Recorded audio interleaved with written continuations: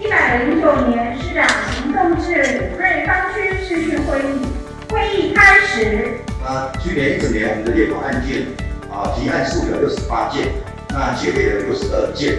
他建议设立保罗纳文史生态园区。现在目前打石场它并不具有文化资产的身份，那如果需要呃去做一些评估的话，我们就是希望呃里长能够提报我们一些具体的位置跟范围，那我们就会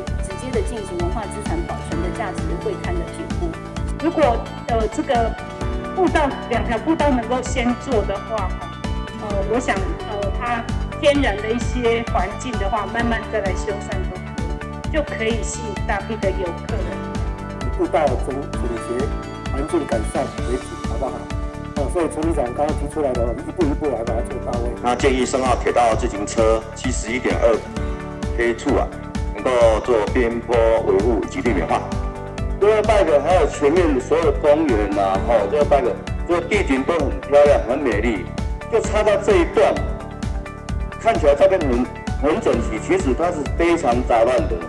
去做进一步讨论，如何能够在安全第一的考量之下，去跟公路总局做进一步的这个细部的去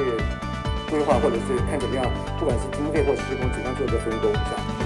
其实我们去会翻完以后，这个就要要求他们内管公路总局要来协助这个事。所以我想我们双管齐下，因为这个其实要全责的公路总局，我们会请他们希望能够重视这个工作啊。我们继续内管继续追踪，